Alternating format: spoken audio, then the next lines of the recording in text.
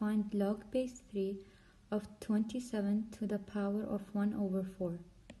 First thing we're gonna do, we will write log base 3 of 27 to the power of 1 over 4 equals to y. Now we need to find y.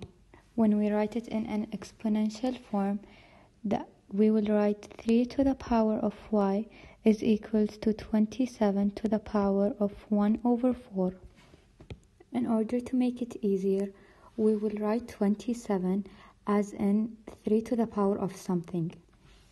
Now 3 to the power of 3 equals 27. And now we have log base 3 of 3 to the power of 3 to the power of 1 over 4. To get rid of the 3, we will multiply 3 by 1 over 4. And the answer will be 3 over 4. So now we have log base 3 of 3 to the power of 3 over 4. And now to find y, we will write it in an exponential form again. And it will be 3 to the power of y is equals to 3 to the power of 3 over 4. So y is equal to 3 over 4. We need to find the value of x. First thing we're going to do is we're going to write 27 and 3 to the power of something. So 3 to the power of 3 is equals to 27. So instead of 27, we're going to write 3 to the power of 3. So now we have 3 to the power of 2x is equals to 3 to the power of 3 to the power of 2x plus 1. In order to get rid of this 3, we're gonna multiply 3 by 2x and 1. Now 3 times 2 is equal to 6 and 3 times 1 is equals to 3. So we're gonna have 3 to the power of 2x equals to 3 to the power of 6x plus 3.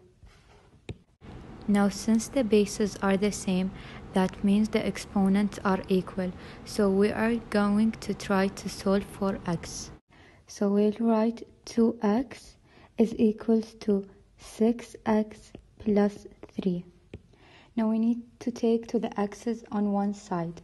So we're going to take 2 to the side and 3 to the side.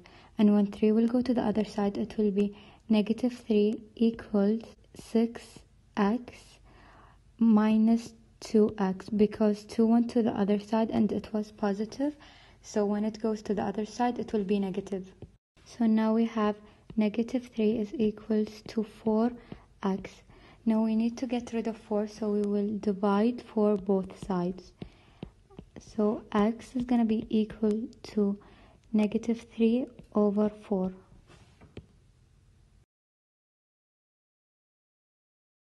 Simplify 4 log base 3 of 1 over 27. Now 27 is equals to 3 to the power of 3.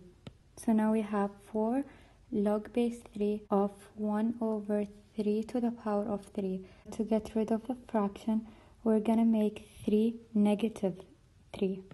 So now we have 4 log base 3 of 3 to the power of negative 3.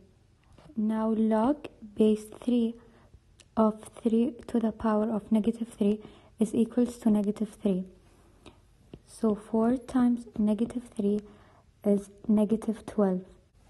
4 log base 3 of 3 to the power of negative 3 is equals to negative 12.